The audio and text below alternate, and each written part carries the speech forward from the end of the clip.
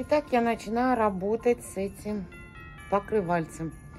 У меня просили показать, раскрыть в полной, полном объеме это покрывало. Вот смотрите, девочки, у меня недостаточно такой широкий стол. Видите, немножечко все это упало уже вниз. Но вы можете увидеть, да, полную, полный графический рисунок этого одеяла. Ну что, сегодня приходила ко мне женщина, и она занимается этим пэтчворком тоже. Она увидела это покрывало, в общем, спросила, это ваша работа? Я говорю, нет, это не моя работа, это я буду разрезать, делать две части. Вот, и я ей задала вопрос, а сколько, как, скажите мне, сколько цена вот а, такой работы, потому что это handmade. В общем, она мне сказала от полторы тысячи до двух с половиной тысяч стоит такая работа. Она зашла сюда, посмотрела эту работу, говорит, да, хорошо, все выполнено, отлично. В общем, девочки, вот так. В общем, американка оценила.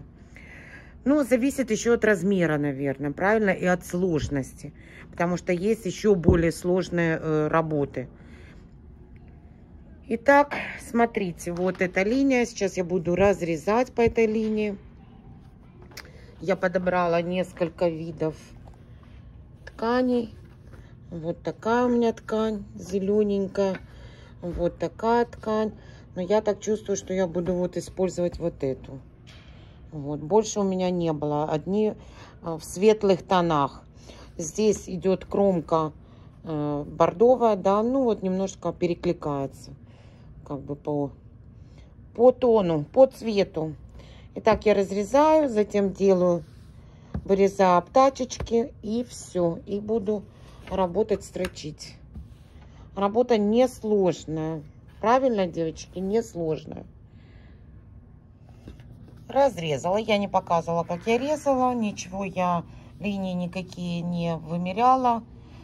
Все шла по прямой линии. Так, ребятки, и некоторых интересовал вопрос, что же она положила вовнутрь. Вот давайте посмотрим. Вот такая тоненькая, не знаю, ватная прокладочка. Раньше э, ставили в пальто вот эти вот прокладки. Забыла, как по-русски называется, девочки. Подскажите. Ватин. Может быть ватин, да. Но он более тоненький. И все, больше ничего нет. И больше ничего нет. И видно здесь вот как обрабатывала женщина. Все ровненько, ниточек нет никаких. Все чисто, чисто сработано. Да, вот так вот смотрю. Смотрю, значит, э, сделана полоска, да, в шахматном порядке. Пристрочена. Опять сделана полоска, опять пристрочена. То есть каждый фрагмент, каждая линия получается пристрочена с ватином по лицевой стороне.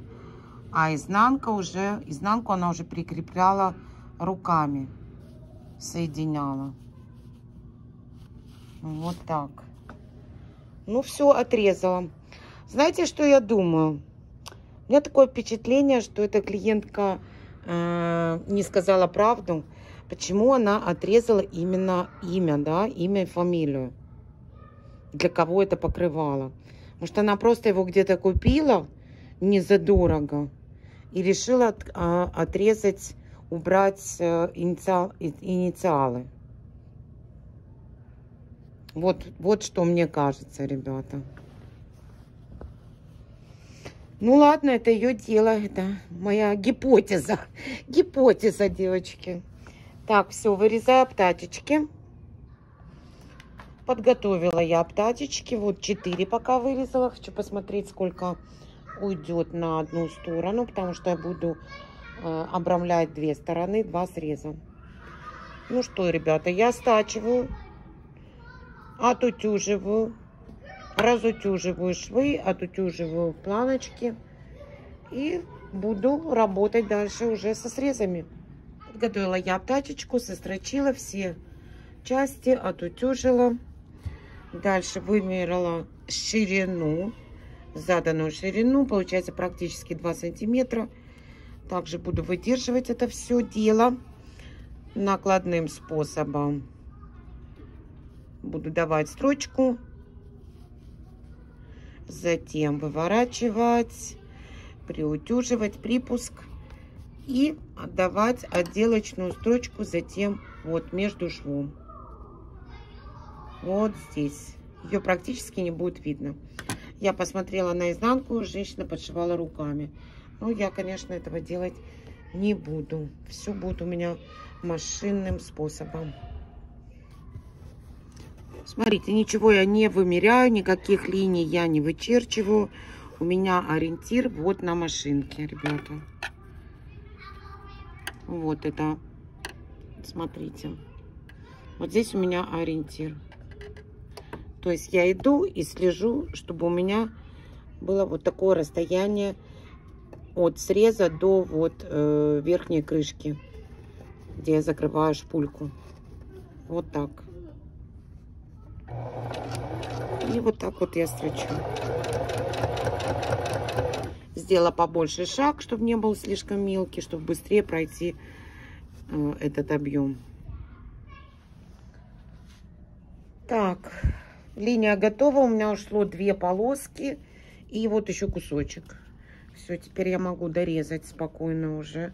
Знаю, что точно не измеряю. Вот так, девочки, одним махом, как говорится.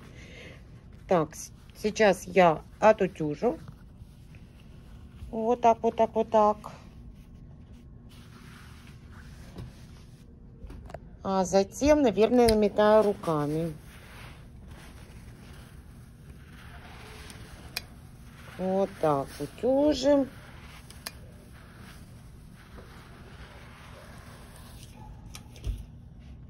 Затем нужно перейти на изнаночную сторону, вот так сделать.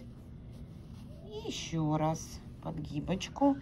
И чтобы край подгибочки немножко был длиннее, чем вот эта ширина.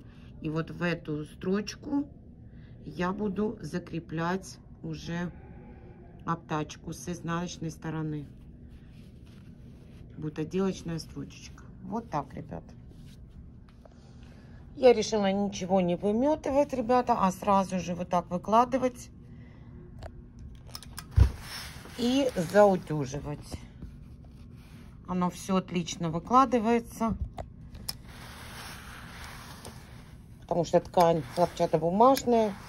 Классно заутюживается. В общем, стараюсь не делать лишних движений ненужных.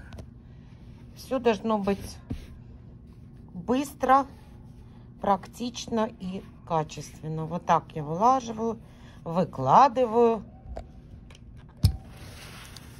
И утюжком прохожусь сразу. Все, отлично получается. Перешла я уже на изнаночную сторону. Вот, смотрите, также я руками, пальцами все выкладываю. И чтобы край обтачки немножко заходил за шов. Видите, за строчку.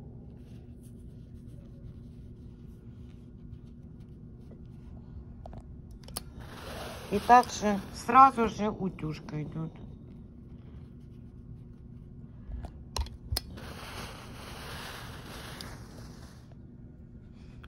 Оформляю край, разворачиваю, заворачиваю приворачиваю и заутюживаю.